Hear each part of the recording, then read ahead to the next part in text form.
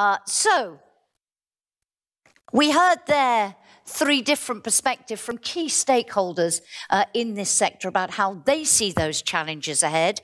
Um, I want to um, now turn to Professor Dimitrios Buhalis, who is Director of the e-Tourism Lab and Deputy Director of the International Centre for Tourism and Hospitality Research at Bournemouth University, um, to give us a, a broad perspective on the ecosystem of tomorrow and how you see the challenges. Professor Buhalis, I hope you were listening to our opening panel. Uh, and I just wondered, um, the Commissioner talked at the beginning about developing a shared vision. So for you, what is your vision of what this ecosystem should look like, say, 10 and 20 years from now? Thank you, Jackie. Uh, I've been following very carefully um, what all the panelists were saying, and particularly the commissioner.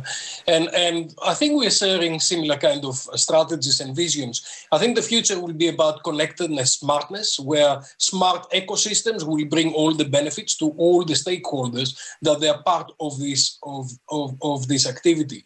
Um, I've been hearing a previous panel, and a lot of a lot of the colleagues are, are coming from outgoing companies, those companies that they are sending tourists somewhere else I'm primarily a destination person, so I'm really looking after support the communities and the people in the different areas, and especially in the in the European periphery, and especially on the insular areas. Mm. Uh, you start from the north if you like to go into Lapland, and you go to Rhodes in Greece, or you go to Madeira in Portugal, or Bruges in Belgium. And all of those communities are super dependent on tourism.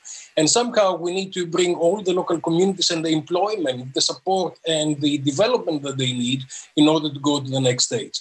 We need also to create memorable experience for all our, our, our customers and all the people who are traveling to see us, and to ensure that we, we have sustainability through a fair return on the, the, the resources that we are utilizing in tourism. So we need to have equitable returns on the resources we use. I think this will take us to 2030, 2040. For the first time ever, um, tourism is in the center of the agenda because it's now evident to everybody how important it is for people around the world, both for, for, for travelers in terms of their mental health, but also for communities where they receive tourism and they look, uh, uh, they look after them.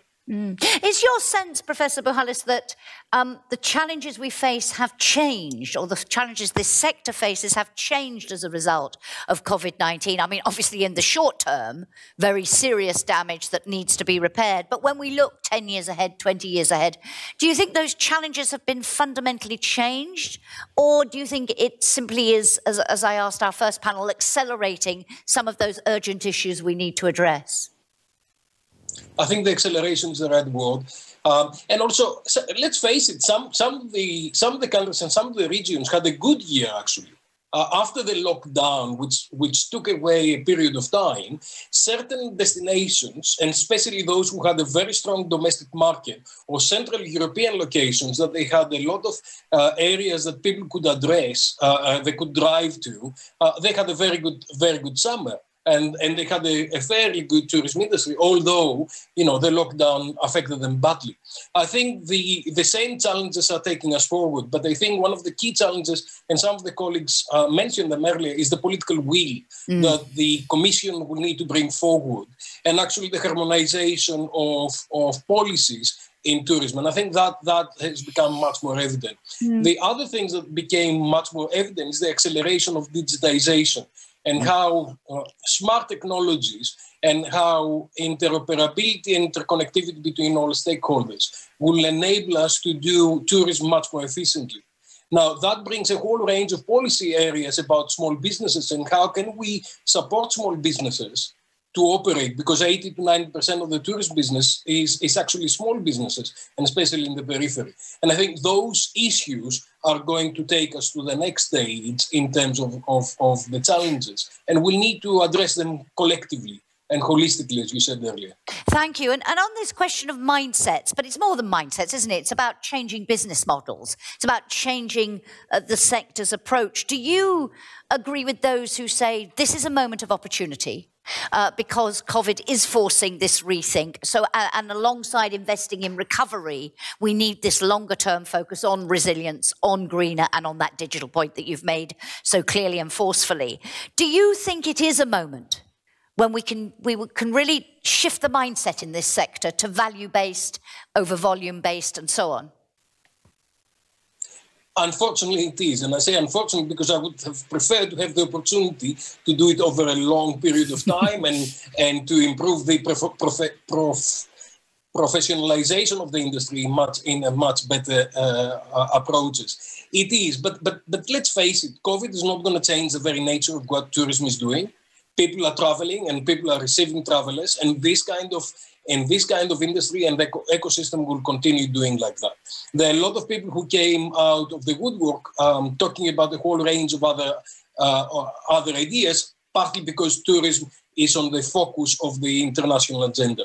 But I think it's critical to understand what the opportunities are. And the opportunities are coming from uh, getting a, a, much more stronger policy, not only in Europe, but globally with the United Nations World Tourism Organization, all the other organizations that are operating, to work very closely with the private sector, with the WTTC and everybody else who is involved, and, and to create uh, the conditions for, uh, uh for, for, for the communities to support their future. And we need to reignite tourism on the short period of time until the COVID the COVID situation is gone. So we need to look after people who are on lockdown, and and okay. we are facing a second uh, a second wave. But then we need to refocus and redesign what we're doing. I don't necessarily subscribe to a lot of the views I hear recently about um, a lot of the things we need less tourists and things like that.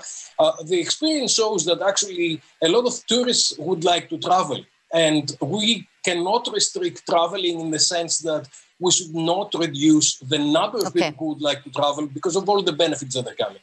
But we need to be much smarter and re engineer uh, our industry and re-engineer the activity okay. in a way that benefits everybody who's involved. Thank you very much. And a very last question to you, coming back to uh, the question the commissioner posed us at the beginning when he said, uh, "What where do we want to be? You've answered that and outlined your vision, but he also said, how do we get there? And I want to ask you, as I'm going to ask everyone this afternoon, put you on the spot. One thing you want to see in that new roadmap. I think everybody needs to realize that tourism is a very complex economic activity and has got major impacts on environment societies. So there is not one magic uh, a recipe for how we're going to do that. It's like when you go to the doctor. The doctor needs to take a, a good diagnosis of everything that we do. We need to involve the local communities and we need to develop things. But I think there are two or three very uh, briefly, a few words lines. Very briefly. Yeah there are two or three lines of development here. One is digitization, and smartness. The second is sustainability and resources. The third thing is memorable experience. How can we how can we make the travel experience, and the tourism experience, memorable and and uh, uh, for everybody who's involved, and create equitable returns for everybody who's involved. Okay. And on that note thank you very much. You've set up the conversations we're about to have about uh, the outcomes of the workshops beautifully, sir. Uh, thank you so much for joining us. It's been great to have you with us. Uh, goodbye, sir. Thank you. Um, so before, before we turn